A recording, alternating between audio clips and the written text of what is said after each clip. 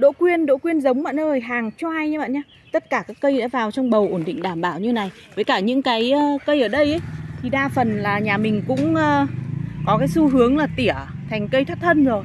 Cây rất đẹp, cao khoảng tầm 40cm ạ. Các bạn có nhu cầu muốn mua thì vui lòng alo thật sớm nhé bạn nhá. 097 797 3535 bạn ơi.